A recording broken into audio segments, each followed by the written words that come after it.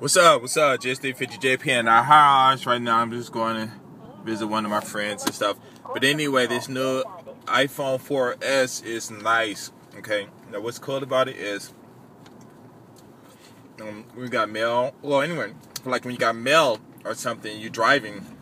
Of course, you shouldn't be messing with your phone. So, you know, you had a stoplight or whatever, or wherever you at, you know, instead of reading, you can click it onto it, click on it, and it, it'll read the mail for you. And uh, what's cool is out here, you know, I guess it'll read it in any language because I um listen to it um while it read it um the mail to me in Japanese. And not only that, like when I get mail from people and stuff, if I don't understand the kanji and stuff like that, I'll highlight it and then it'll um these things come up like speak or define or something like that. So I hit define and it translates it into uh, English for me, which is cool. You know, I get a definition of Japanese with the kanji meaning hiragana katakana, whatever, and then bam, got the English definition right there. So that's cool because now I get to uh, hopefully it'll work inside of all of the um, of the um, applications and stuff. So that's a good way to learn some kanji and you know build that up real quick. And then if you got friends and you got an iPhone 4 or you know some gadget like that, then you know you can just tell me hit you up in um, Japanese and you get all that stuff translated, even read to you too, man. It's a trip. I like this.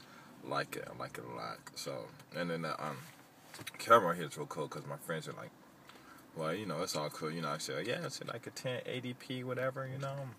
I look at it and like, dang, man, it's nice. I'm like, yeah, this is real cool and stuff.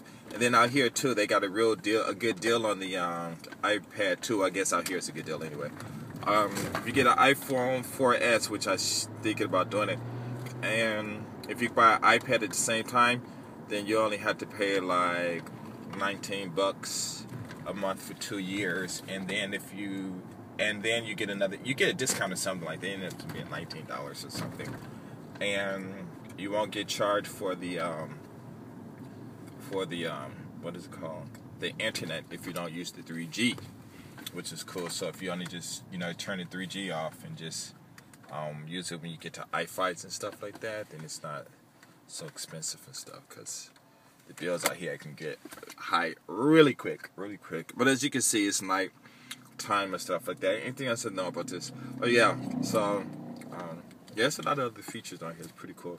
My um, friend showed me. Uh, uh, she showed me how to um, when I get messages and stuff like that, how on the back the light blinks and stuff. You like, bling, bling, bling. I was like, whoa, that's like way too much for me. Plus, you know, I always keep my phone on. Uh, well, I don't know if you know, but I always keep my phone on on the vibe off and stuff like that. You know, because um, you know, I don't, know, just keep it off and stuff. But anyway, that's it. So I just thought that you know, if you got 4S, you know, go on the um, on general assess accessibilities and click on um, uh, read text or reading or something like that. And um,